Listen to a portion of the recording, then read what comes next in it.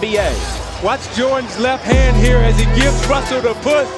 And referee can't see that. Jordan frees himself up for a clean look. The greatest thing about Jordan is he has... All-